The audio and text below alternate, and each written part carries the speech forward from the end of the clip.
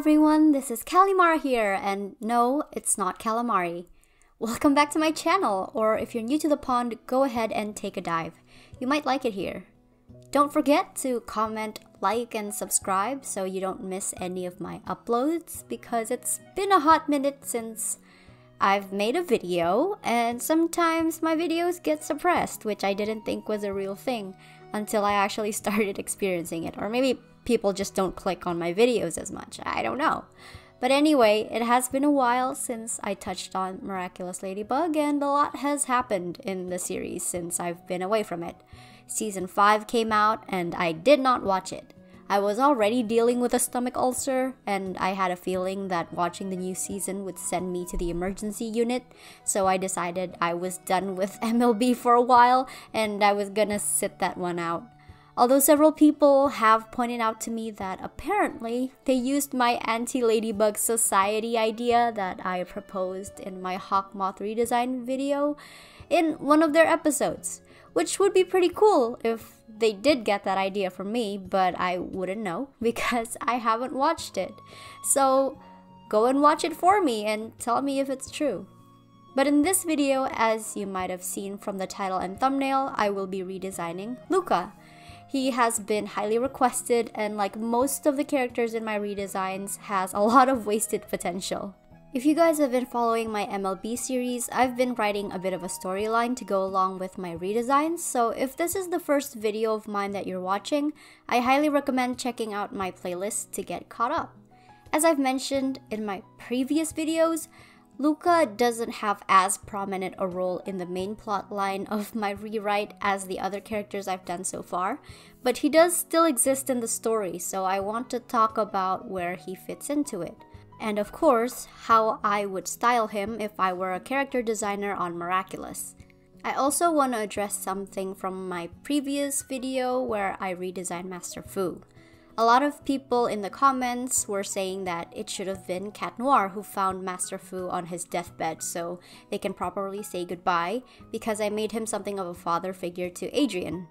Well, my reasoning for having Marinette find him instead of Adrien is so that A, she's the one sent to find the miracle box and become the new guardian, and B, if he knows that Hawkmoth's minions were the ones that killed Master Fu, he never would have agreed to join forces with Hawkmoth. So I think, in an unwise decision, Ladybug hid Master Fu's death from Cat Noir.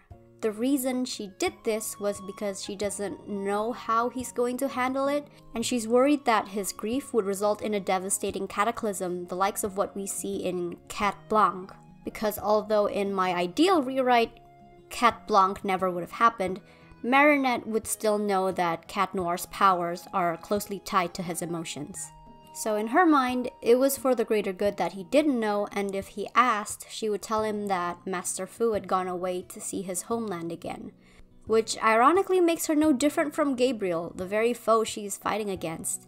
I think it's a delicious point of conflict, and I'll definitely explore that in a different video. But for now, let's talk about Luka. But before we dive into the topic, I'd like to give a shout out to Vograce for supporting my channel. Vograce is a professional product manufacturer and supplier that specializes in producing custom goods like keychains, stickers, notebooks, standees, pins, and more. If you're an artist looking for ways to manufacture your goods for an artist alley or just merch in general, then Vograce is perfect for you. Vograce has a huge catalog of customizable wares you can choose from, and their products are all super high quality.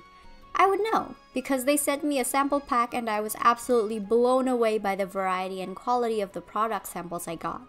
I received heaps of different sticker varieties, a standee, a character pillow cover, and tons of keychains with different materials and finishes.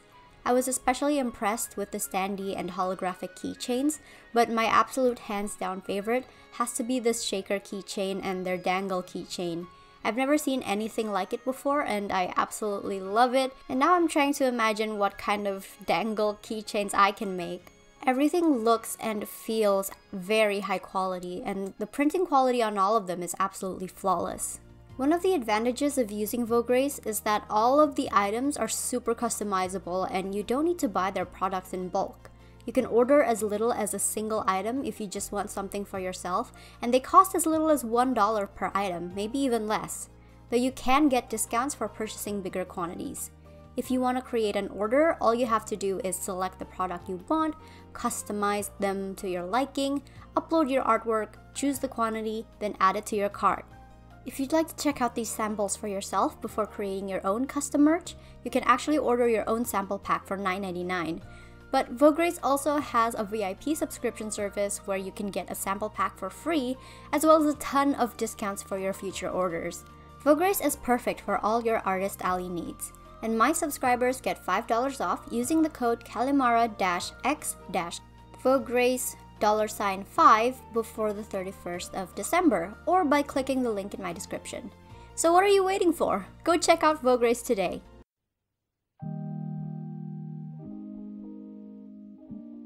So let's start from the top.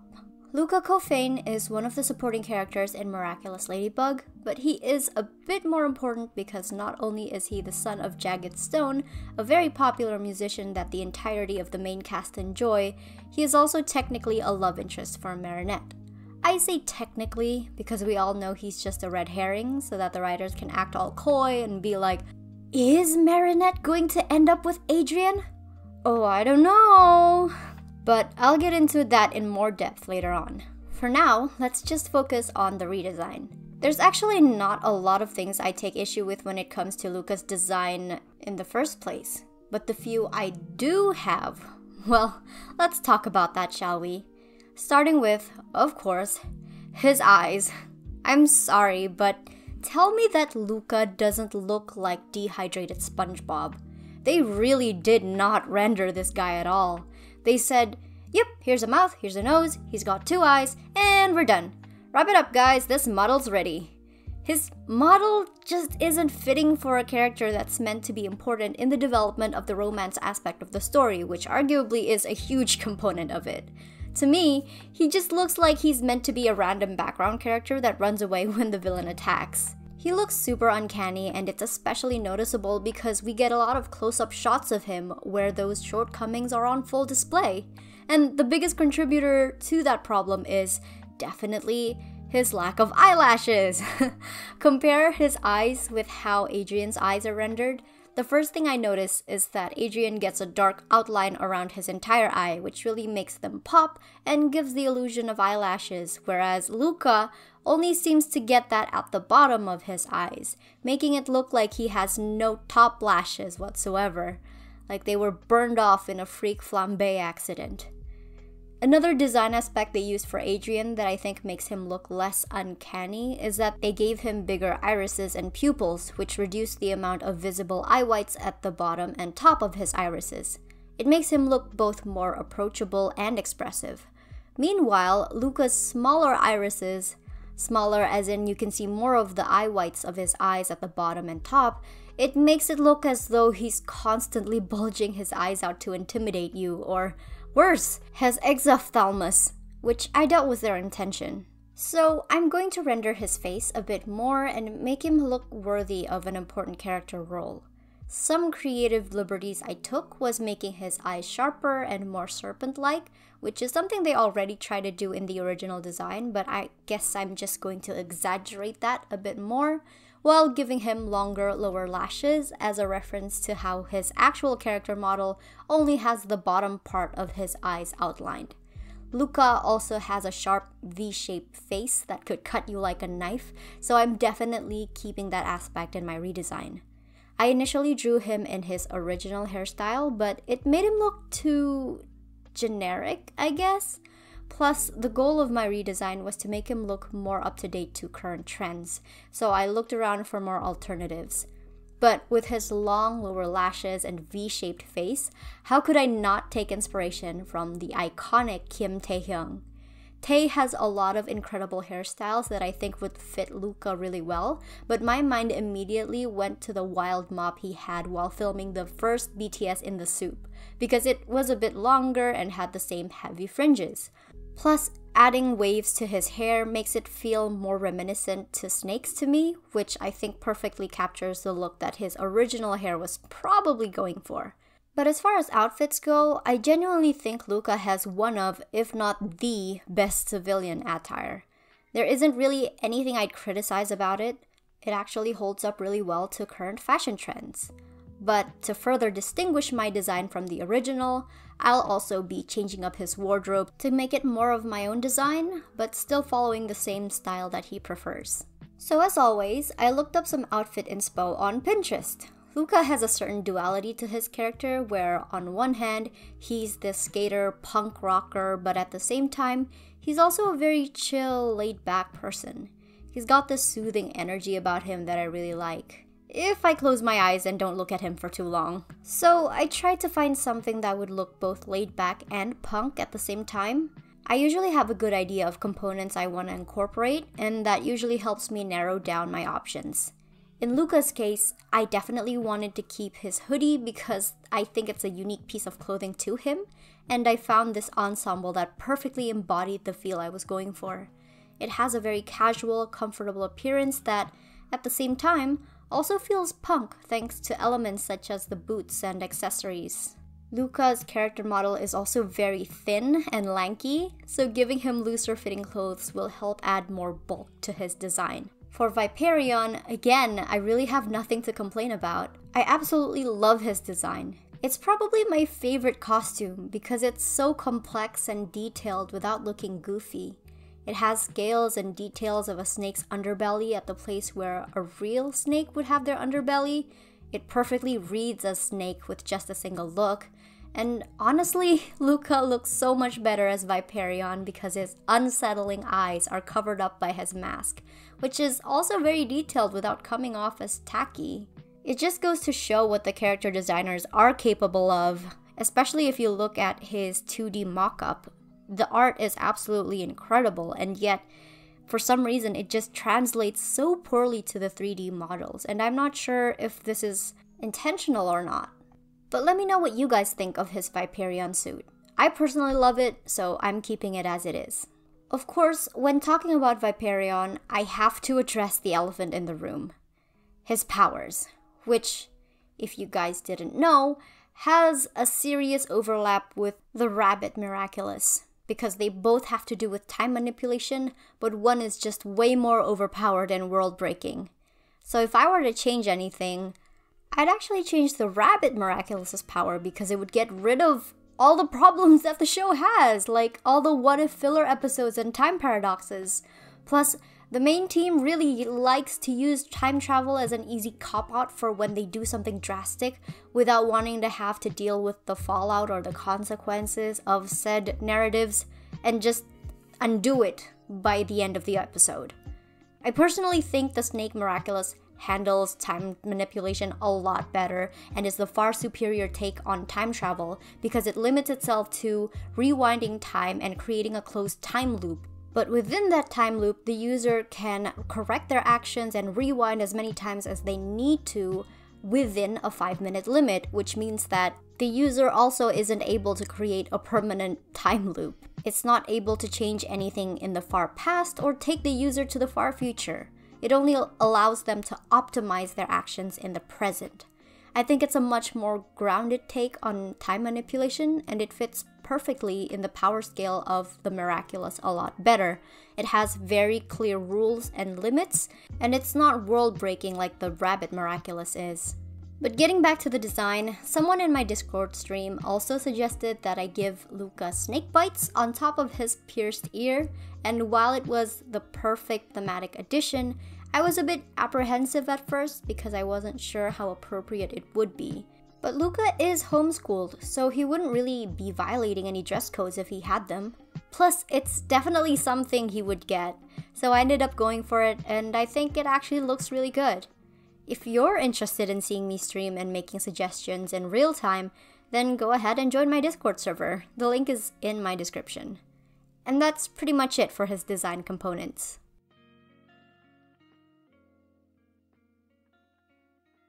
Now, while his design issues are a fairly easy fix, Luka's problems lie primarily in his writing, as in, there isn't enough writing for him. He gets introduced as a potential love interest for Marinette, and we see him around here and there being led on and played. And despite how hard the writers try to convince us that he's a real threat to the Adrienette endgame, we all know better. He's about as threatening as Adrien's romantic rival as OG Chloe is to Marinette. Like, can we just stop? Literally every other line and symbolism in this show is about how Marinette and Adrien are soulmates and meant for each other. This is exactly like how Starco went down. We spend the entire series literally watching them fart around while the writers vehemently prevent them from getting together by pairing them up with other people and acting like Starco isn't the obvious clear endgame until the very last episode where they finally no no they don't even get together. They say hey to each other and it's implied that they know each other's feelings at that point and will officially become a couple. We don't even see that happen on screen. But seeing how they've been written throughout the entire show, they probably fart around some more with other people and it never happens. And Luka is Jackie. He's super chill and cool, but he's also just there. They really don't give him much to do except to be akumatized sometimes, but then that's what most of the supporting cast is for, so he's really not that special in that regard either. And I do apologize if I sound heated about this point. It's just always been a personal pet peeve of mine when a couple is so obviously meant to happen, yet the writer tries so hard to run around in circles to make it seem like it isn't. I, I just don't enjoy stories like that. It's exactly why I struggled to watch The Legend of Korra and why I dropped Siren's Lament way back in 2016 2017. I think the only time I didn't mind this kind of dynamic was in the Hunger Games trilogy between Gale, Katniss, and Peeta, and that's only because Katniss couldn't give a fuck about romance. So the book wasn't bogged down with Katniss constantly lamenting about not being able to choose between two hot boys, especially because it's written from her perspective. Maybe I'm just a romantic though, so don't take my word for it. Meanwhile, Luka, Marinette, and Adrien's situation is very similar to how things went down in Twilight, where, despite the huge divide between Team Jacob and Team Edward among the fans, Bella had always been Team Edward from the start. She saw Edward, in MLB's case, Adrien, immediately made up her mind that she wanted to be with him, and she stuck with it. Even when Jacob, in our case, Luka, got his glow up and tried putting the moves on her, Edward was the only one on her mind. And it's just annoying because what is Jacob even there for? Of course, Luka is nowhere near as creepy or pushy as Jacob is, but my theory is that the rivals are there just to show how desirable the main character is. Like, oh, Marinette could have pulled anyone she wanted. She could have been with this amazing, dreamy, a rocker guy, but she chose Adrien. And yet, he doesn't reciprocate her feelings. What a fool! Because around the time Luka was introduced, the producers must have been aware of how poorly Marinette comes across to the audience. So they needed some way to convey that, hey, this character is canonically perceived as extremely attractive and desirable, not at all creepy, obsessive, or annoying. Because you know what else Marinette and Adrien's relationship had in common with Bella and Edward? How obsessive, stalkerish, and codependent it is. But as I've said in my Alya video, how do you know she's not the main character? Because she's in a stable, loving relationship, and the writers think that their audience will find that boring. Yes, because stalking, frustrating love squares, and superficial angst between characters who aren't even mutually interested in each other is so much more riveting. Honestly, I find it kind of funny that animated shows in the romance genre don't actually tell the story of a relationship, rather, the pursuit of a relationship, and getting together with the love interest is the ending and not the start. To me, that's the same thing as reading a book that starts with a prologue and ends on the introduction. There are no other chapters, you just go straight to the epilogue where the characters are on their deathbed giving a brief recap of the story you never got to read. So that's the tea on that. I'm personally not a fan of writing in a character that's only meant to be a distraction from the main ship, and it's downright frustrating when that distraction ship is actually a lot more functional and healthy than the main ship. But you know they're not going to go with that option. It's like watching someone go down the path of destruction and there's nothing you can do but watch. And when I say distraction, I mean that the new love interest is introduced only for the sake of drama for the character involved in the relationship to mope over and does not teach them any lessons, help them come to new realizations, or help them grow as a person. It brings absolutely no value to the character development of said character. And the worst thing about it in MLB is that Luka has so much potential to do those things for Marinette. And yet they don't. Marinette is a very high strung, hyperactive, neurotic character who is constantly overthinking and on the verge of a mental breakdown. Meanwhile, Luka is very soothing and relaxed, he has a positive outlook, takes things slow, and enjoys the little things in life. Marinette is very goal oriented, while Luka enjoys the journey to the destination. They're actually more complementary to each other than Adrien and Marinette are. So even if they aren't endgame, they could have used him to help Marinette grow as a person and learn what a real healthy relationship should be, how she could be a better partner for the other person in the relationship. And that's why I wouldn't change anything about Luka's personality or how he's currently written. I'd just like for him to have a bigger role and a bigger impact on Marinette as a character. And maybe he has already in, in season 5. I don't know. Go tell me in the comments how wrong I am, I guess.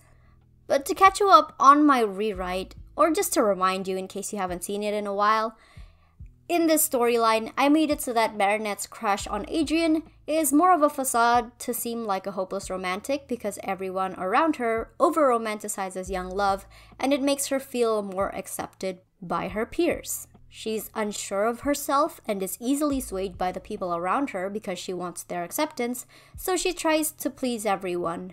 And one of the ways she does that is by going along with the notion that she has a crush on Adrien. It's a forced, insincere interest that she was peer pressured into, and in fear of losing her friendships, she never denies it and actively tries to pursue it, just in much more sensible ways. And the thing is, Marinette is young, and she's never experienced love before, so she doesn't know any better. Surely, if everyone else thinks that her feelings for Adrien are real, then it must be. And this is just what love feels like. My idea is that eventually she comes to get to know Adrien more as a person and falls in love with him for real down the line. But in the meanwhile, there is a lull there to develop Marinette's emotional maturity and that's where Luka comes in. She meets Luka by chance, maybe at a Jagged Stone concert. They bump into each other and drop both their phones. They lean down and grab it, and they grab it at the same time, and there's a brief pause when they catch sight of each other. They both get flustered and embarrassed, quickly apologizing to each other before grabbing their phones and retreating to their friends. After the concert, Marinette takes out her phone to let her parents know that she's on her way home, only to realize that she grabbed the wrong phone. She panics, not knowing what to do, but Alya suggests that she call her phone with the phone she has and arrange to meet up with the person who had her phone to meet up and trade their phones back. And that's exactly what they do. Maybe they arrange to meet the next day and they trade their phones back. They introduce themselves to each other and go their separate ways. But now, she has his number in her phone, and we see her save him as a contact. In the following episode, Marinette is freaking out about something and wants to call Alya to talk about it. But in her call history, Luka's number is still at the top, so she calls him by mistake and doesn't realize until he answers the phone. She apologizes, of course, but he hears the panic in her tone and tells her it's okay, and that he doesn't mind listening if she needs someone to talk to. Marinette is hesitant, but because she has trouble saying no, she agrees to tell him what was bothering her, and he gives her surprisingly good advice. He even made her feel more reassured by the end of it. After that, I imagine they start talking more through texts and calls. She enjoys talking to him, and he always makes her feel calm and comfortable. Eventually, he asks her out on a date, and she starts feeling butterflies for the first time. This was her first date. She meets up with him, and they have a great time, though I imagine it gets interrupted because there's an Akuma attack. And with him, she starts to realize how different her two crushes feel and wonders if this is how it's supposed to be. He's a worldly guy and has a lot of great insights. They're both creative people and they support each other in their respective crafts. He helps her feel more confident in herself and to better regulate her emotions, helping her work through her anxiety and imposter syndrome. And she gives him more of a drive to improve himself and actually work towards his goals. Their relationship teaches her that it takes a lot for a relationship to work. He's patient and he gives her space, and she learns that she can't always be in control. Sometimes she just has to trust him. They argue and disagree, but they're comfortable talking about everything with each other. Well, all but one thing.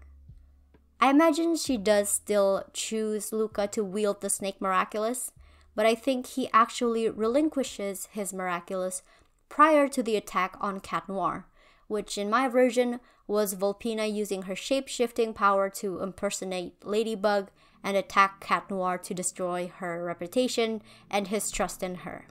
So Luka gives up his miraculous before that, because he wasn't comfortable having such a big secret from his girlfriend. Obviously, Marinette, as Ladybug, is touched that Luka values her trust so much, but at the same time, it also fills her with guilt that she's kept her secret from him all that time. And that's why, when they see each other again in their civilian forms, Marinette breaks up with him. Because in her mind, it isn't right for her to continuously lie and hide things from him when he'd been nothing but honest to her and it's for his own safety now that things are getting intense with the Anti Ladybug Society and Hawkmoth's team. Luka is devastated, of course, and he doesn't understand why. Things were going so well, and all Marinette can tell him is that she's dealing with something she can't talk about, and she needs space to deal with it. And she promises that one day, when she's ready, she'll tell him everything. He eventually understands. He knows how distracted she can get and how she can disappear for hours on end without any word. And he accepts it and tells her that he'll be waiting. He'll be waiting if she wants to come back to him. But I'll leave it there. Should Marinette still end up with Adrien, or should she get back together with Luka? Let me know what you think in the comments below. Thank you so much for watching all the way to the end. I really appreciate you taking the time to hear out my crazy ideas for a children's show. It really means a lot to me. I especially want to thank my lovely pond dwellers for supporting me. If you want to become a pond dweller and get early access to my content, then join my Patreon. If you want to see more from me, then please follow me on my social media. If you want to submit fan art, tag me on Twitter or Instagram.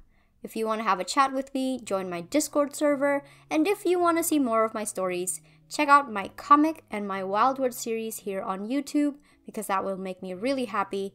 All the links are in my description, and I will see you all in the next video. Goodbye!